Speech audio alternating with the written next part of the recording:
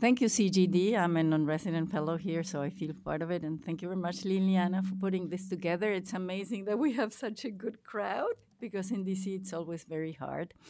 And actually, the three presentations that uh, preceded me are a great segue so, to my discussion. Do I have to do anything here? It will just pop up. Uh, because I'm going to talk about what to expect. I have the clicker. And when I click, what happens? All right. I think you have copies of the presentation.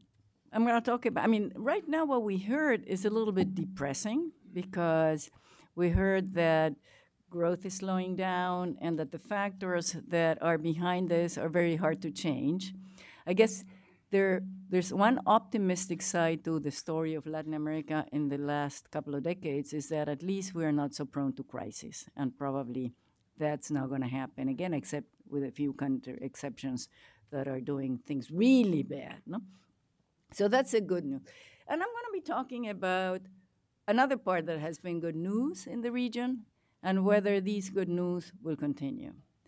Uh, so I'm not going to do it as technically as you guys did it, but you know the papers are there, and uh, if you have questions, I'm I'm very happy to discuss them. Uh, so we have good news in the last uh, two decades in Latin America, and particularly in the 2000s. Economic growth and declining inequality led to two important changes in terms of the social makeup of the region. Poverty was reduced substantially, and also the middle class was expanded. So there's this graph that, uh, you know, by, by, the way, I cite uh, the uh, sources. So if you want to use these graphs, you can cite them as well. And I can share the papers. They're not out yet. They're going to be published, but I, uh, I'd be happy to share them. So you can see here that, you know, poverty, which was around 42% in the beginning of the, the 2000s, reached about 25% and the middle class went from 22% to about 34%, right? So this is, and how do we define the middle class? I'm using the uh, definition that the World Bank has adopted between $10 PPP a day and $50 PPP a day, which has also been adopted by CGD because Nancy Birdsall came up with the $10 uh, threshold as well per day. No? Okay, so the big question is was this due to growth or redistribution? because both happened during the last decade. And we did some decomposition exercises. Well, first of all, see that the decline in inequality, the redistribution, happened practically in all the countries. The ranking may change depending on the source you use, depending on which days you, uh, year you take as a starting year and the end year, but the graph always looks the same, la escalerita. ¿no? So, in terms of poverty, when you apply some typical standard decomposition exercises, you obtain that on average. It varies between countries, but on average, about uh, 61% of the decline in poverty is accounted for growth, and about 39% by redistribution. A decline in inequality, which is a very large size when you compare what, what ha- used to happen before. In terms of the rise of the middle class, growth, the growth component, component which is the orange one here, was about 79%, and redistribution, the decline in inequality, uh, 21%. So again, redistribution played a role, less than poverty reduction as expected, but it was there. So I guess, you know, we heard what uh, accounted for growth, uh, so what accounted for the decline in inequality? And I think in the, uh, the story as it goes now, there were three main forces in the direction of making inequality lower. One is the decline in inequality in labor markets associated to a decline in the skill premium, wages of people with higher skills versus people with lower skills were declining in relative terms. There were larger and more progressive transfers targeted to the poor. And there are also expansion of private transfers, particularly remittances in some countries that played an important role. So some of the exercises that we've done quantitatively, this is what they look like. So labor income what happened to inequality in labor income is the bulk, the bulk of the story of why inequality declined. Government transfers is the orange, private transfers is the yellow. Okay, so now we are in more challenging times, and we heard from uh, the three speakers that preceded me that growth is not going to look good. Already we have uh, observed much lower growth. Uh, Augusto said that it, we're almost in zero.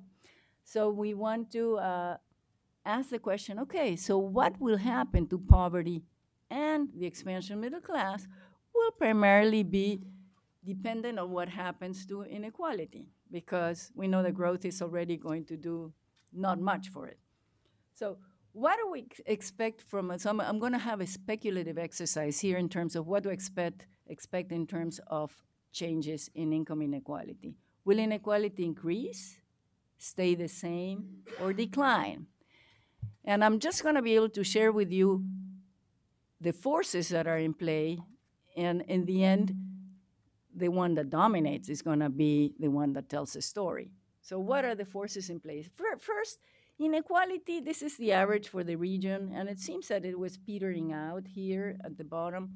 But if you take Mexico out, it actually the decline continues throughout the year in which we have data. So there doesn't seem to be a slowdown up to 2012.